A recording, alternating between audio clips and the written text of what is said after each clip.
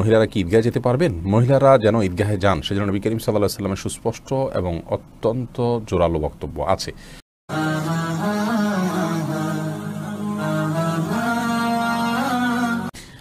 এরপরে নাজমুল হাসান শিহাব জানতে চেয়েছেন, মহিলারা কি ঈদগাহে যেতে পারবেন? মহিলারা যেন ঈদগাহে যান, সেজন্য নবী করিম সাল্লাহ সাল্লামের সুস্পষ্ট এবং অত্যন্ত জোরালো বক্তব্য আছে। এমনকি যারা মাসিকে আছেন, ঋতুবতী আছেন, তাদের কথাও নবী সাল্লাহ সাল্লাম বলছেন, তারাও যেন ঈদগাহে যান এবং তারা নামাজ পড়বেন না, কিন্তু জিকিরে, দোয়ায় আনন্দে সামিল হবেন। আবার যাদের পর্দা করে যাওয়ার ব্যবস্থা নাই, তাদেরকে বলা হয়েছে অন্যের পর্দার বা অন্যার মধ্যে মাথা লুকিয়ে হলেও পর্দা করে তারা যেন যান। তার মানে নবী করিম সাল্লাহ সাল্লাম মেয়েদেরকে ইয়েতে আপনার ঈদগাহে যাওয়ার ব্যাপারে খুব বেশি উৎসাহ দিয়েছেন।